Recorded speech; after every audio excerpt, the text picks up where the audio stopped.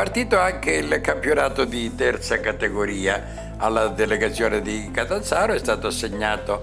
il eh, D,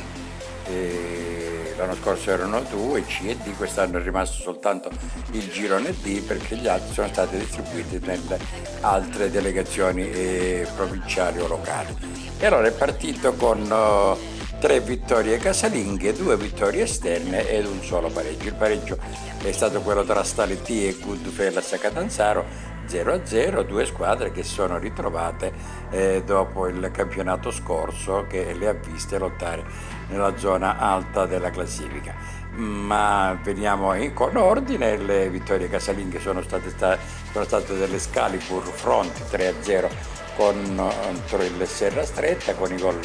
di Fatti, Bonsignore e Donato, quella del Grifone Catanzaro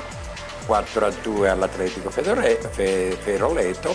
con l'iniziale vantaggio della squadra ospite con De Facci, ma poi i gol di Sborfa, eh, Fazio, Nisticò e De Luca hanno messo un po' in ordine eh, la situazione con Falvo che è riuscito ad accorciare per il 4-2 finale. Eh, l'altra vittoria casalinga è quella del Tiriolo contro il Girifalco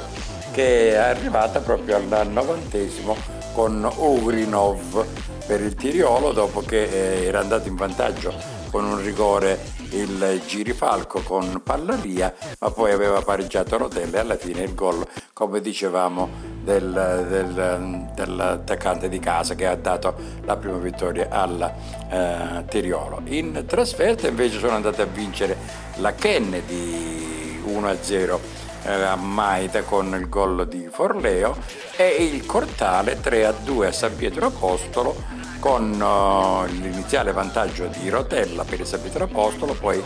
i gol di Riga, Saraceno uh, per il 2-1, il pareggio di eh, Vergata iniziale, ma a Riga nel 55 aveva segnato anche il terzo gol, quindi 3-1 iniziale e poi 3-2 eh, finale. Quindi una prima giornata all'insegna diciamo, dei, dei, dei gol, tant'è vero che se ne sono marcati tanti, ma vedremo poi con il prosieguo del campionato. Intanto da segnalare che eh, è venuto fuori un bel girone, quello della delegazione di Catanzaro, con 12 squadre e abbastanza limitato come trasferte e quindi eh, per quello che può valere un plauso da parte nostra anche questa volta alla federazione che è riuscita a fare degli ottimi campionati eh, ribaltando quello che era successo invece lo scorso anno con i campionati di seconda e terza categoria che erano molto ristretti, molto, molto ridotti e dovevano obbligare le squadre a fare delle trasferte lunghe. Quest'anno pare che ci siano nuove squadre che si sono iscritte e quindi